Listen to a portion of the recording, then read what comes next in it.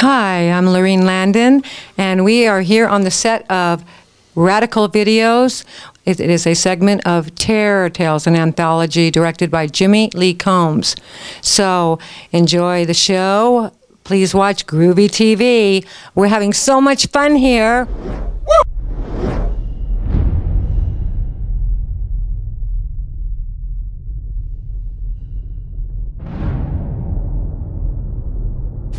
Hey, this is Groovy. I'm here with the legendary Laurene Landon.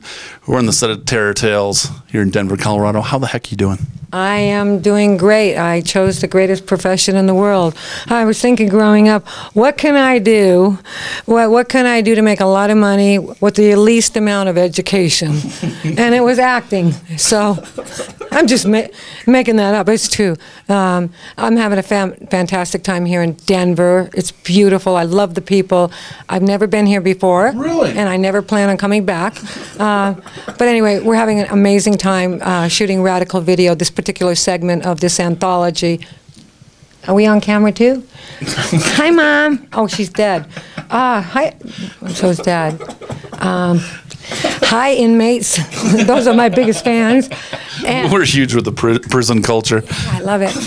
So, um, yeah, so I'm, uh, I, I'm having a fabulous time here, incredible time, and um, it's great to finally meet you. I've heard so much about you. I, I'm honored to meet you. You're a legend. What does that mean? I'm old. That means that means I'm old. No, it means you've had a lot of successes in your life and you've done some amazing things. I have you're, you, you're doing amazing things now, and you have more stuff coming up too. stuff coming up. I just did seven films back to back. know, it's I, yeah, my age, right? Right. any any age. Go figure. Go figure. Um, usually, a woman over forty, uh, you know, you you don't get any work at all. You get you're, they don't even want you for background work when you're uh, forty if you haven't made it. Can you believe that? Um, that's what my friends at- back home tell me. And anyway, so I, uh, I I- just did seven films back to back. I'm doing this one. I'm doing three more after this, but by the grace of God. And I think I honestly think it, I came to a point in my life where I didn't give a crap anymore. Can I say that? Yeah, you can say whatever you want. Uh, I didn't give a shit anymore. I didn't. I didn't give a shit anymore. I didn't care. Um, I wanted uh, to expose my soul, bare my soul, and I got to a point where I, I jumped out the box and I don't care anymore what anybody thinks of me. If you don't like me, fine, go away. I don't care. You know what? I, I, I am what I am, and I was always afraid, you know, doing uh, previously doing huge, very large budget films, and you always have to stay in the box, you know, and you have a script supervisor, and you can't alter one line. But the the beauty about independent films is that the directors, in my experience, always give you the latitude to improvise. And I come from the Groundlings Theater, and I always I have to improvise, and I brought a lot of stuff with me, crazy stuff, and something pretty shocking that's going to happen in the movie that they're not going to they're not exposing. Uh, they're keeping it completely uh, quiet, sealed. Uh, something that's going to happen in the movie in my in my segment, and. Uh, we were, they were going to take pictures of it, and then the director said, "No, no, we got it. We're going to save this for uh, the audience because otherwise it'll give the whole gag away." but I play Miss Tate, the mother of a psychopath, right? Okay. Uh, and he's called a sledgehammer, and uh, she's a whack job. Uh, what I did in this movie is I did in my own way, in the spirit of I didn't try to emulate, I didn't try to imitate Bette Davis and, and whatever happened to Baby Jane. Right. That, but but that was the spirit of what which I played this character, Miss Tate, who has left the planet years ago, and the detective comes in and he's looking for my son. And I, and I have a breakdown, and I say, I haven't seen my son uh, for many, many years. And uh, I tell the detective the terrible things that happened to my son. And, and I'm playing the role on crutches. And that was my idea, to play the role on crutches. Okay. And there's a reason that I'm playing the role on crutches, right? Um, what about you? Tell me about you. Enough about my bullshit. I interview famous people, and they tell me stuff. What do they tell you? um, about their lives, their careers, their hobbies, what's coming up, and then they tell jokes, and then we joke and stuff, and we talk about beer a lot too. Do you like beer? No, I'm an alcoholic. I am. I'm an. I love beer. I love vodka, but vodka and beer don't like me. I'm I'm a different animal when I w- used to drink. I wish I, I wish I could drink. I mean, I I loved drinking, and I was a completely different monster. I mean, person drinking. Well, I like this monster. You're a nice monster. Well, I'm sober. That's why you you you don't want to know the other one. But you know, everybody I know drinks, and that's cool. And everybody I know back home smokes pot, and that's cool.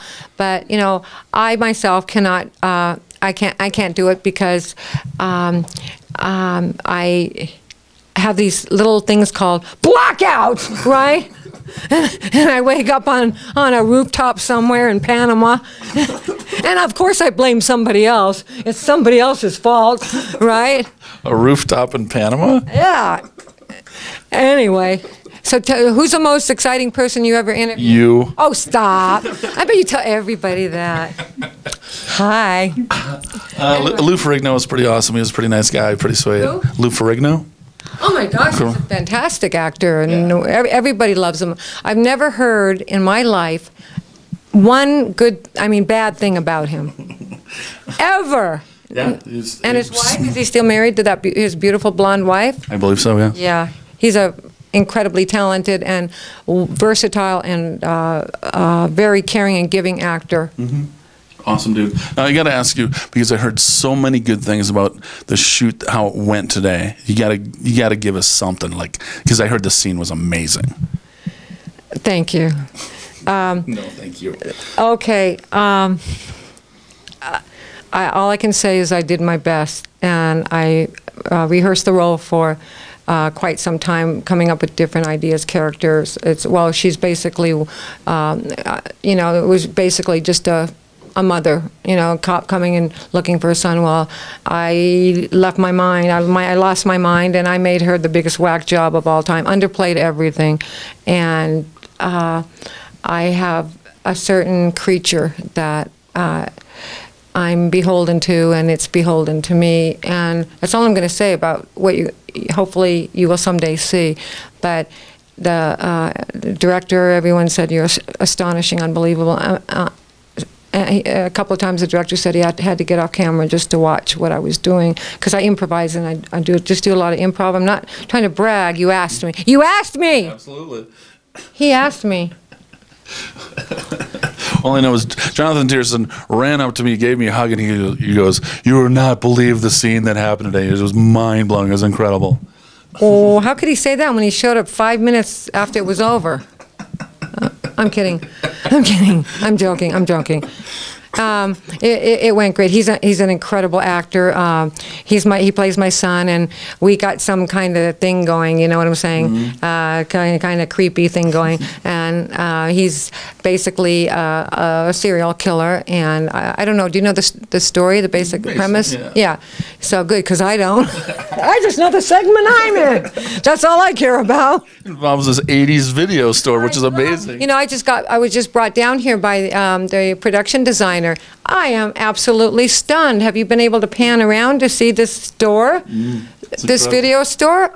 I, I, I assumed when I was told early on that they were gonna they were gonna um, make a tribute to the '80s, which I love because you know most of my movies were from the '80s, and and um, personally I don't like sci-fi. I don't like big old comic book movies, even though I wrote a comic book with the great Larry Cohen, who's my best friend. Um, and he uh, wrote Phone Booth, as you know, and Cellular. I wrote the treatment for Cellular. Amazing. And he uh, has done bestseller. It's a Lie, one, two, three, four, five, ten. I don't know how many he did. Anyway, he's still he's still writing. He's still working on uh, the funniest human being I've ever met in my life. There's a documentary coming out about him called King King Cohen. They have 19 hours of of footage. So I told, I suggested, I don't tell anybody anything. I just suggested why, to the producers, why don't you make a TV series out of this or sell it to cable?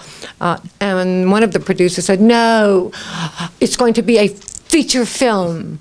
And, okay, but you know, there's, you have so much footage, 19 hours. Well, we're cutting it down to two hours. And I said, are you leaving my stuff in? And they said, you and Larry, are the, the way you bicker back and forth. Of course, you, you two idiots are in it. Uh, there's Larry over there, log, uh, dementia, uh, whatever. Anyway, hope he doesn't see this or hear it. That's awesome. Thank you so much for your time. What is that supposed to I'm shaking your hand. I thought I was here for two more hours. What is this, two hour interview? That's what I was told. I'll enter the mic. All right. Well, you've been watching Groovy TV. Groovy, yay! Yay! Groovy TV. Ah. This is your time to interview. Groovy. groovy. So when did you start uh, be, being an interviewer? and why is your ha- hair purple? Um, Was it born like that? Were you born like that? First one, probably like what, six, seven years ago, something like that. Second one was because I am deranged and have issues. I love it. I love it. We're going to get along just great. Absolutely. Well, I'll take your hair and you have my my beard. That'd be sweet. I love I love your beard. I think I mean you you, you just so stand out. I, I saw you driving down the street, and I, I screamed to my friend, the my actor friend, "Look at that guy with the purple beard! We must be at the right place." And he said, I don't think so. Those people look so weird. And I said, Oh no, let's just go there anyway. Forget where we're supposed to go. I swear. Let's just go there anyway. And he says, Well, and he's flagging down somebody who says, You guys are, that's the right place. And I said, Yeah, Follow the purple beard. that's right.